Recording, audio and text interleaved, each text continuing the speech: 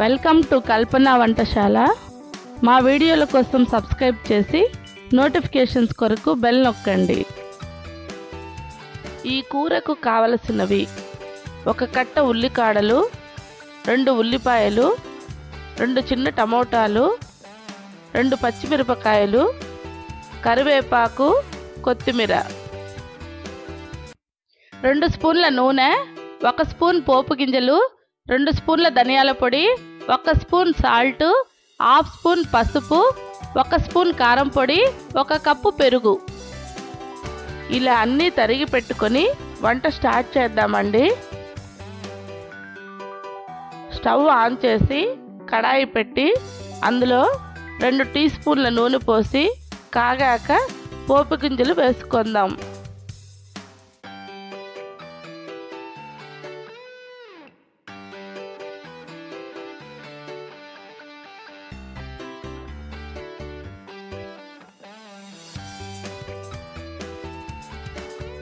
అవి వేగాక కట్ చేసి పెట్టుకున్న ఉల్లిపాయ ముక్కలు వేసి వేయించుకుందాం.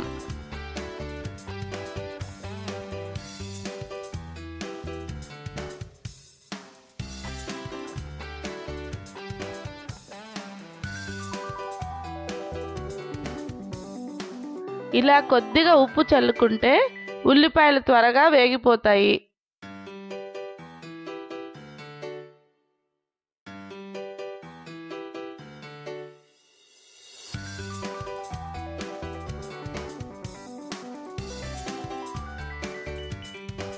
ఇప్పుడు మిరపకాయలు కరివేపాకు వేసుకొని కాసేపు ఫ్రై చేసుకుందాము.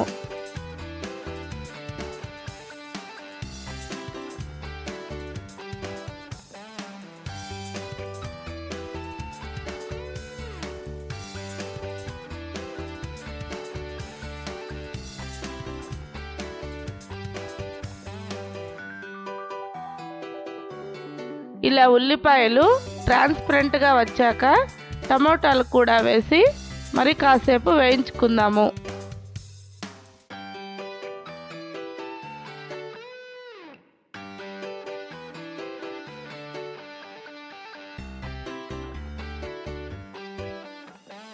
ఇప్పుడు ఉప్పు పసుపు వేసి కలుపుకుందాము.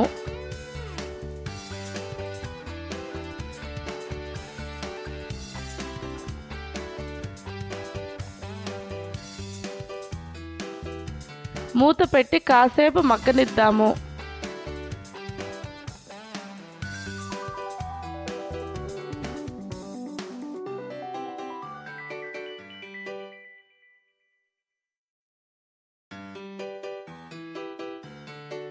టమోటాలు ఇలా మెత్తబడ్డాక కట్ చేసి పెట్టుకున్న ఉల్లికాడ ముక్కలను ఇందులో వేసి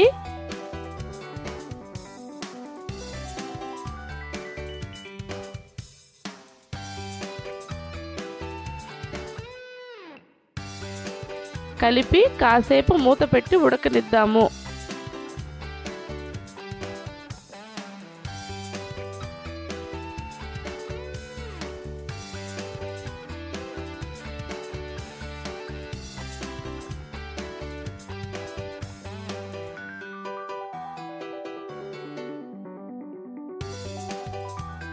ఉల్లికాడలు సగం ఉడికాక ధనియాల పొడి కారం పొడి వేసి అంతా మిక్స్ అయ్యేలా కలిపి మరి కాసేపు ఉడకనిద్దాము.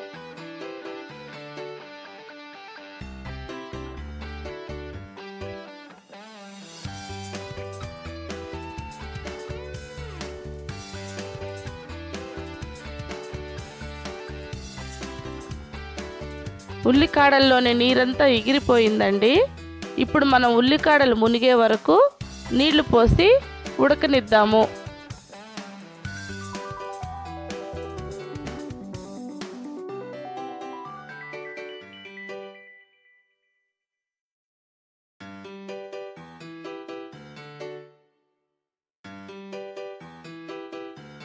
చూడండి ఉల్లికాడలు బాగా ఉడికిపోయాయి. కూర కూడా చిక్కగా అయ్యింది.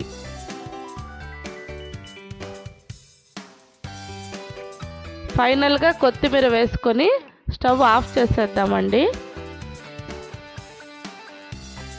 ఈ కర్రీ చల్లారాక ఇందులో పెరుగు వేసుకొని కలుపుకోవాలి.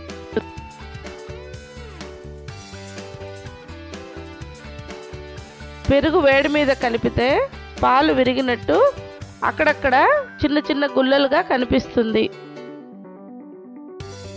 కావాలనుకుంటే ఇంకో కప్పు పెరుగు కలిపిన ఈ కూర చాలా టేస్టీగా ఉంటుంది.